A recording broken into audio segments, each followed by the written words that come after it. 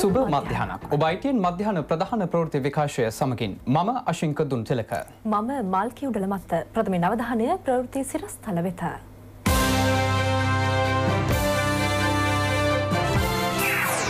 ගෝටාභේ රාජපක්ෂට විශේෂ මහාධිකරණයෙන් විදෙස් ගමන් තහනමක්. ග්‍රාමාත්‍යවරයා වියට්නාම සංචාරය අරඹයි. යාන්නුව ජලාශය ඉදිකිරීම් මේ වසර තුළ අවසන් කිරීමට පියවර. මෙරට මරණවලින් සියට හැත්තෑ එකක් බෝ නොවන රෝග බව වාර්තාවක් පෙන්වා දෙයි.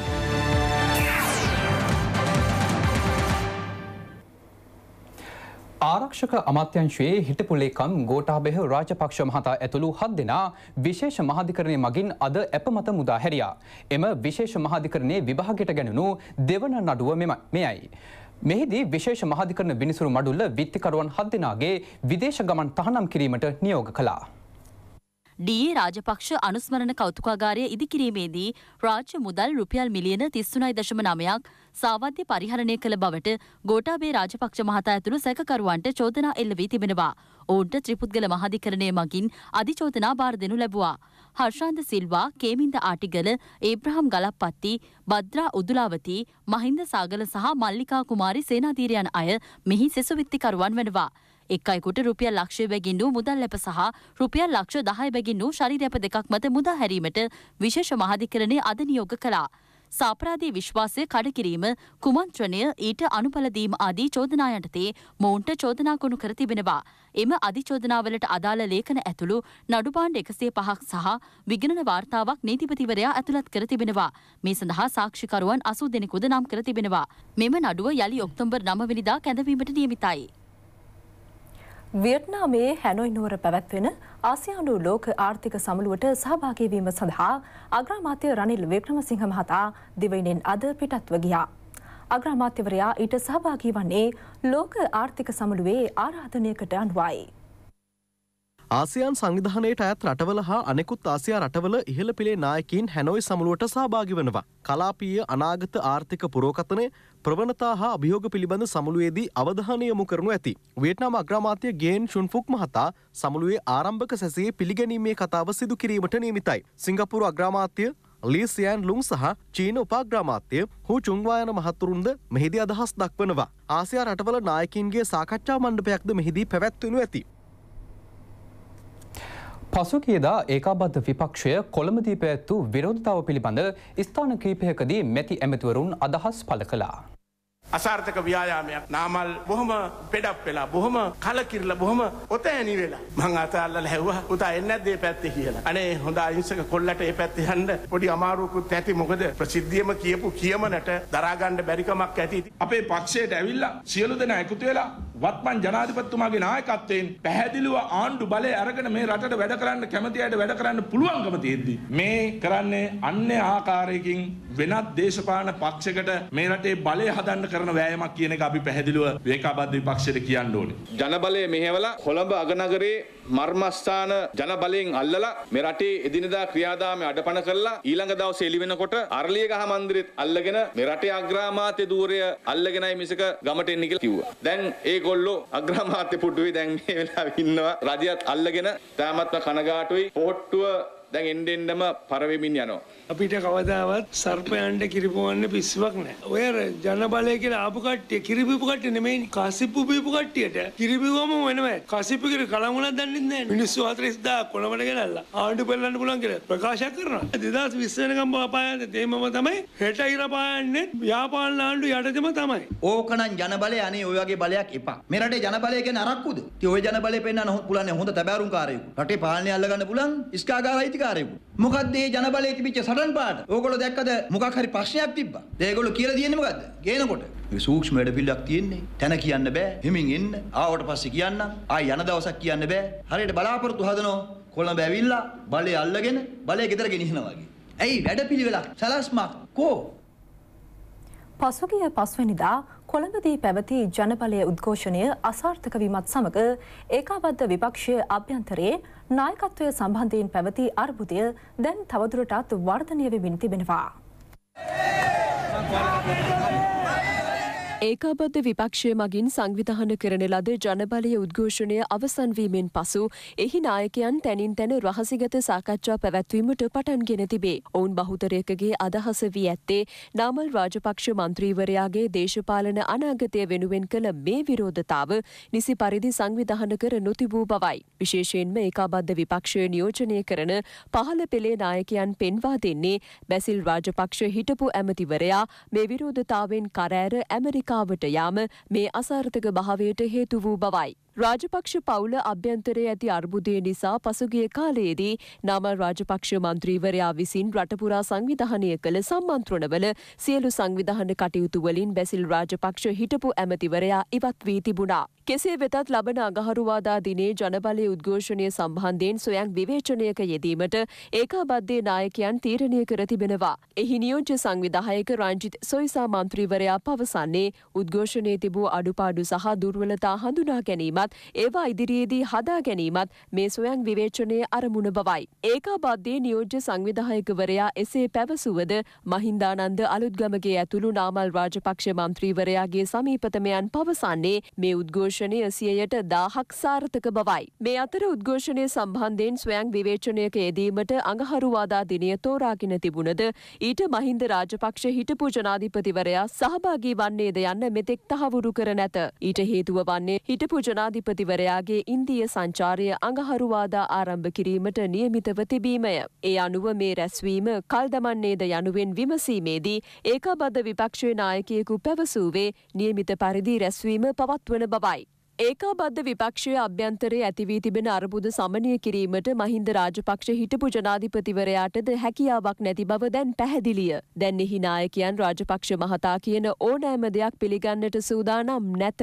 පෙබරවාරි දහවනදා පැවති පළාත් පාලන මැතිවරණයෙන් තේරීපත් වූ පොදුජන පෙරමුණේ මන්ත්‍රීවරුන් සවිබල ගැන්වීම සඳහා ඔවුන්ට ඩිප්ලෝමා පුහුණුවක් ලබාදීමට සැලසුම් කෙරිනි. ඔවුන්ගෙන් අයකිරීමට බලාපොරොත්තු වූ සමස්ත මුදල රුපියල් ලක්ෂ දෙදහස් අසූ අටකි.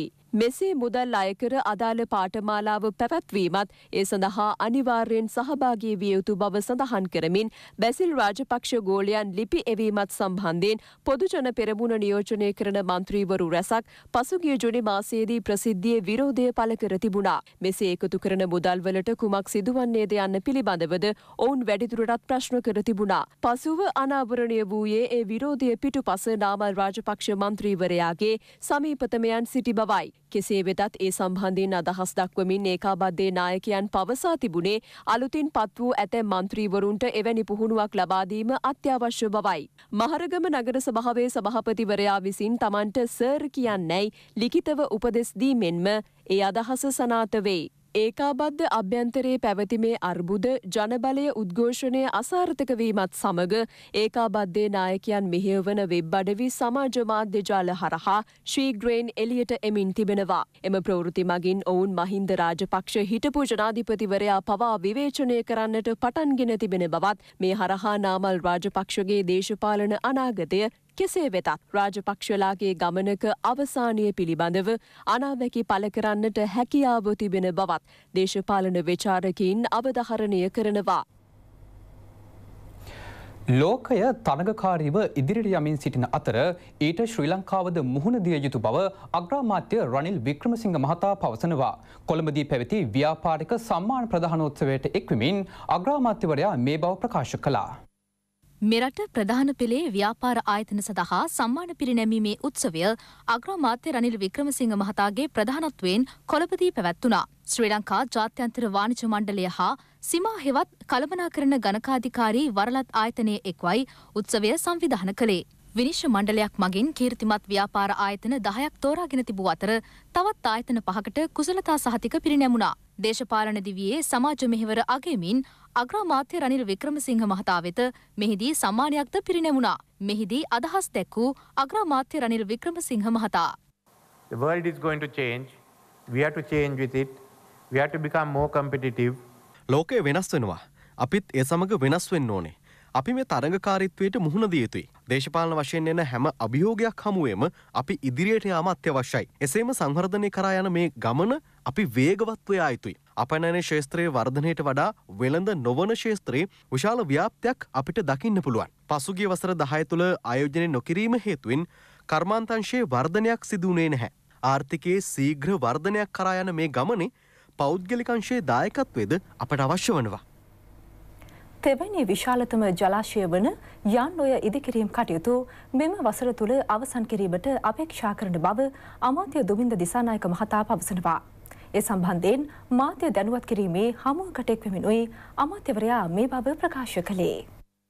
අපි යාන්නොය බලාපොරොත්තු වෙනවා මේ අවුරුද්ද වෙනකොට වැඩ ටික අවසන් කරන්න මේ වෙනකොට ඩෑම් එකේ වැඩ ටික අවසන් වෙමින් යනවා. ඒත් එක්කම යාන්නොයේ ගම්මාන හතරක් අලුතෙන් නිර්මාණය වෙනවා. ඒ සියලුම ගම්මානව අපි පහසුකම් සහිත ගම්මාන විදිහට තමයි ජනතාවට ලබා දෙන්න අපි කටයුතු කරන්නේ. ගම්මානයට අවශ්‍ය කරන පාසලක්, පෙර පාසලක්, ප්‍රජාශාලාවක්, ග්‍රාම සේවා නිලධාරීන් ඉඳන් නිලධාරී තුන්දෙනාට ඉන්න කාර්යාල තුනක්, අංග සම්පූර්ණ පාරවල් පද්ධතියක්, සෑම නිවසකටම ජලය ලබා ගන්න පුළුවන් ප්‍රධාන ජල ටැංකියක්, එහෙම නැත්නම් ලිංක් කීපයක්. මේ සියල්ලමත් එක්ක අපි අංග සම්පූර්ණ ගමක් විදිහට තමයි ඒ අලුතෙන් පදිංචි කරන සියලු දෙනාම පදිංචි කරන්න බලාපොරොත්තු වෙන්නේ. මේ වෙනකොට ඉඩම් පවරා ගැනීමට මූලික කටයුතු කරලා තියෙනවා. දැනට තක්සේරු දෙපාර්තමේන්තුව තක්සේරු කරමින් යනවා. ඒ තක්සේරු අවසන් කරපු ගමන්ම අවශ්‍ය කරන වන්දි මුදල් ලබා දෙන්න අපි කටයුතු කරනවා.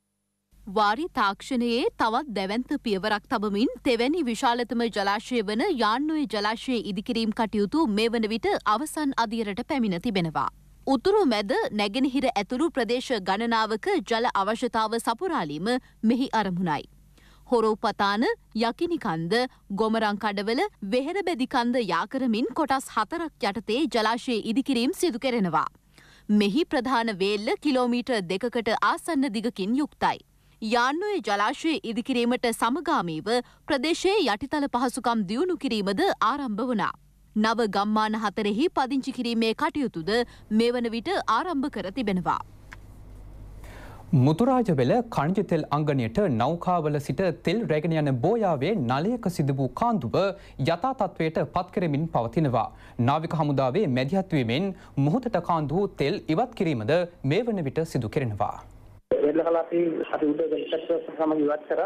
සමහරකට ගල්වල සහ අනිකුත් බැරි පොළොව පරමත් තැන්පත් කර තියෙන තෙල් ඉවත් කිරීමට අවශ්‍යතාවයක් තියෙනවා. මොකද මේ තෙල් ගල් මතින් සීවීම කිරීම සහ ඊට පස්සේ ගල් ඡේදීම කරන්න කලකට නිසා ඒ හෝ සතියක් දෙකක් කාලයක් තුළදී මේ තත්ත්වය යථාර්ථයට පත් කියලා අපි බලාපොරොත්තු වෙනවා මේ ක්‍රියාකාරකම් හරහාම. මුතුරාජවෙල බෝයාවේ සිට මුතුරාජවෙල පර්යන්තයට තෙල් රැගෙන යන නලයේ කාන්දුවක් සිදුවී ඇත්තේ වත්තල උස්වැටකෙයාව තල්දියවත්ත ප්‍රදේශයේදී. වෙරළේ සිට කිලෝමීටර් පහක් පමණ මුහුදු ප්‍රදේශයේදී නලයේ කාන්දුව සිදුව තිබෙනවා. මුහුදු ජලයට එක් වූ තෙල් තට්ටුව ඉවත් කිරීමද මේ වන විට සිදු කෙරෙනවා. නාවික හමුදාව යුද හමුදාව වෙරලාරක්ෂක බලකාය ස්වේච්ඡා සංවිධාන ඊට එක්ව සිටිනවා. ජපන් රජය මගින් සමුද්‍රී ආරක්ෂාව සඳහා වෙල්ලාරක්ෂක දෙපාර්තමේන්තුව වෙත පරිත්‍යාග කළ සමාරක්ෂා සහ සමුද්‍ර රක්ෂා නෞකාද මෙම කාර්ය සඳහා යොදවා තිබෙනවා. කාන්දුවට ලක් වූ නලය ප්‍රතිසංස්කරණය කිරීමද ආරම්භ වී ඇති බව khනිජ තෙල් සංස්ථාව සඳහන් කළා. ඊට අවශ්‍ය කිමිදුම්කරුවන් සහ තාක්ෂණික සහය ලබාගෙන තිබෙනවා. සිදුවිය හැකි පරිසරහානිය අවම කර ගැනීම සඳහා කඩිනම් වැඩපිළිවෙල ක්‍රියාත්මකයි. මහවිලච්චිය දුනුමඩලාව සහ නොච්චයාගම අමගහවැව එල්ලංගා වැව් පද්ධතිය ප්‍රතිසංස්කරණය කිරීම ලබන විසියෙක් වනදා ආරම්භ කරනවා. එම ව්‍යාපෘතිය තුළින් ගොවිබිම් විශාල ප්‍රමාණයක් අස්වැද්දිය හැකියි. වැව් දහසක් ගම් දහසක් ව්‍යාපෘතිය පිළිබඳ දැනුවත් කිරීමේ හමුවක් අනුරාධපුර දිස්ත්‍රික් ලේකම් කාර්යාලයේදී පැවැත්වුණා. ඒ අමාත්‍ය චන්ද්‍රානි බණ්ඩාර සහ රාජ්‍ය අමාත්‍ය වීරකුමාර දිසානායක යන මහත්ම මහත්මීන්ගේ ප්‍රධානත්වයෙන් අනුරාධපුර දිස්ත්‍රික්කයේ වැව් ප්‍රතිසංස්කරණය පිළිබඳ මෙහිදී දීර්ඝ ලෙස සාකච්ඡා කෙරුණා. එක ආසනයකට මිලියන 60ක විතර ප්‍රමාණයක් වෙන් කරලා අපිට අවශ්‍ය වැව් ටික තෝරගෙන ඒවා ප්‍රතිසංස්කරණය කරන්න තමයි මේ වැඩසටහන ක්‍රියාත්මක වෙලා තියෙන්නේ. ඔබ දන්නවා ගමට එන පණිවිඩය තමයි ආණ්ඩුව මුකුත් කරන්නේ නැහැ. හම්බන්තොට වරායයි මත්තල ගුවන්තොටුපළයි තමයි ලංකාවේ අය කතා කරපු ලොකුම ව්‍යාපෘති දෙක. හම්බන්තොට වරායට වියදම කෝටි 14000යි. මත්තල ගුවන්තොටුපළට ගියපු වියදම කෝටි 4000යි. මොරගහකන්ද ව්‍යාපෘති කෝටි 23000ක ව්‍යාපෘතියක්. මෙතන යන වැඩසටහන ජාතික ආහාර නිෂ්පාදන වැඩසටහන. ජනාධිපතිතුමා දකින්න වියලි කලාපේ සංවර්ධනය කරන පදනම වෙන්නේ හැම වෙලේම ජලය. අතිගරු ජනාධිපතිතුමා රජරට ප්‍රදේශයේ සාමාන්‍ය ගොවිපල පවුලකින් ඉපදුණු ගොවියාගේ දුක දන්න සාමාන්‍ය ජනතාවගේ දුක දන්න කෘෂිකර්මාන්තයට අවශ්‍ය වන ප්‍රධානම නිෂ්පාදන සාධකය වන ජලය ලබා දීමේ වැඩකටයුතු දීර්ඝකාලන වශයෙන් කල්පනා කරමින් ක්‍රියාත්ම කරගෙන යනවා. මොරගහකන්ද ජල යෝජනා ක්‍රමය ක්‍රියාත්ම කරන්නට විදේශී රටවල වල සහයෝගය ලබාගෙන අද එතුමා ඒක ක්‍රියාත්ම කළ තිබෙනවා. පොළොන්නරුව නව කෞතුකාගාරී ඉදිකිරීම් කටයුතු මේ වන විට සිදු කෙරමින් පවතිනවා. ඒ සඳහා වැෑකිරෙන මුදල රුපියල් මිලියන පන්සේයක්. මේ සමඟ තවත් සංවර්ධන පුවත් කිහිපයක් දැන්. පොළොන්නරුව නව නගරයේ නව කෞතුකාගාරය ඉදිකරන්නේ. පිවිතුම පොළොන්නරුව දැවන්ත සංවර්ධන ව්‍යාපෘතියේ තවත් අධිරක් ලෙසයි මෙහි ඉදිකිරීම් සිදුවන්නේ. ඓතිහාසික පොළොන්නරු පුරවරයේ පුරාවස්තු සහ අතීත උරුමයන් සංරක්ෂණය කිරීම මෙහි අරමුණයි. මෙවැනි වැඩපිළිවෙලක් ක්‍රියාත්මක වීම පිළිබඳ ජනතාව රජයට සිය ප්‍රසාදය පළ කරනවා. අපි ඉතාමත්ම අගේ කරනවා. මොකද පිවිදිම පොළනරුව යටතේ පිටේ කාලය පොළනරුවට නුතිබිච්ච විශාල වූ සංවර්ධනයක් අපි කවුරු බලාපොරොත්තු නොවිච්ච සංවර්ධනයක් අපිට වගේම අපි අනාගත දුවා දරුවා වෙනුවෙන් එතුමා විශාල වූ කැපකිරීමක් කරනවා ඒ පිළිබඳව අපි එතුමන්ට අපි ස්තුතිවන්ත වෙනවා. පුපිදුමුව පොළොන්නරුව වැඩසටහන යටතේ අද විශාල කෞතුකාගාරයක් මේ පොළොන්නරුවට ලබා දීලා තියෙනවා. ඒක ඇත්ත වශයෙන්ම අපි ස්තුතිවන්ත වෙන්න ඕන අපේ අතිගරු ජනාධිපතිතුමාට මෙවැනි කාර්යයන් අපට ලබා දීම අපේ පොඩි ළමයාට පවා ඒදී විශේෂ අවස්ථාවක් මේකෙන් බලා ගන්න පුළුවන්. මතුගම සිට වැලිපැන්න දක්ෂිණ අධිවේගී මාර්ග අන්තර් හෝමාරුව දක්වා වූ මාර්ග සංවර්ධන ව්‍යාපෘතියේ ඉදිකිරීම් මෙවන විට අවසන් අධීරට පැමිණ තිබෙනවා. ආසියානු සංවර්ධන බැංකු ණය ආධාර වැඩසටහන යටතේ මේ සඳහා වැය කෙරෙන මුදල රුපියල් කෝටි එකසියසුවක් මන්තීරු දෙකකින් සමන්විත මාර්ගය දෙපස කොන්ක්‍රීට් කානු පද්ධතියකින්ද සමන්විතයි. අපේ රජය මගින් කරන දැවන්ත ව්‍යාකෘතියක් මතුගම අලුත්ගම දක්වා වැලි පැන්න දක්වා කරන මාර්ගය මේ වෙනකොට තව මාස දෙකක් ඇතුළත වැඩ නිමවෙන්. මේ ද යහපාලන රජය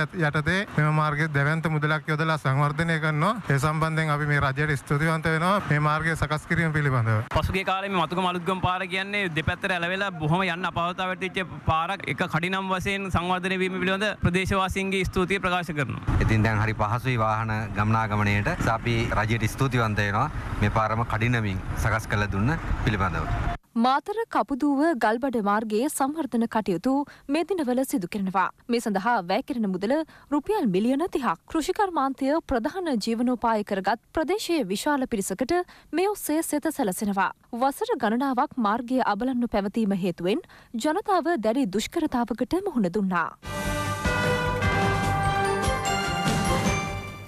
දැන් ක්‍රඩාපුවත්. ව්‍යයාම ක්‍රියාකාරකම් සඳහා වන ජාතික මාර්ගෝපදේශනයේ තාක්ෂණ කමිටු වාර්තාව එළිදැක්වීම සිදු කෙරුණා. ඒ බණ්ඩාරනායක සම්මන්ත්‍රණ ශාලාවේ පැවති ක්‍රීඩා හා ව්‍යයාම පිළිබඳ ජාත්‍යන්තර සම්මන්ත්‍රණයේදී.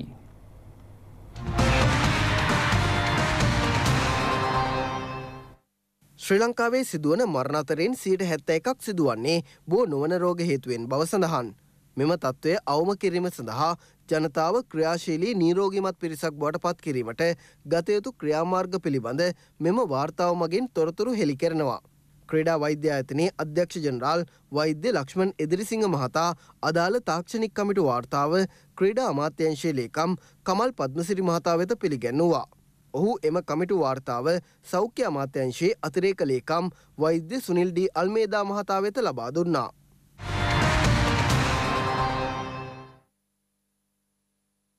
හතලිස් හතරවන ජාතික මහා ක්‍රඩවුල්ලේ පිහිනුම් තරංගාවලියේ ශූරතාව දිනා ගැනීමට බස්නාහිර පලාත සමත් වුණා. අනුශූරතාව හිමි වූයේ මධ්‍යම පලාතටයි. දින දෙකක් පුරා කොළඹ සුගදදාස පිහිනුම් තටාකයේ පැවැත් තරංගාවලියට පලාත් අටක් නියෝජනය කරමින් ක්‍රඩක ක්‍රඩිකාවන් දෙසිය අසූ එක් දෙනෙකු සහභාගය වුණා. ඔවුන් ඉසෞතිස්තුනක් යටතෙයි තරංගබිවට පිවිසිේ. දක්ෂතම පිහිනුම් ශූරයා ලෙස බස්නාහිර පලාත නියෝජනය කළ අකලංක පීරිස් සම්මාන දිනා ගත්තා. දක්ෂතම පිහිනුම් ශූරිය වූයේ එම පලාතම නියෝජනය කළ ඉශානි සේනානායකයි. ඒ සමගින් මධ්‍යහන ප්‍රධාන ප්‍රවෘත්ති විකාශය අවසන් වනවා. පසරු දෙකේ සිට පැන් පැබුවත් විකාශය බලාපොරොත්තු වන්න. ඔබට සුබ දවසක්. www.itnnews.lk